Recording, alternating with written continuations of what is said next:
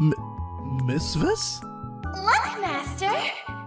Finally, I was able to materialize a human-style body! A little chubby because I still can't fully handle my new power.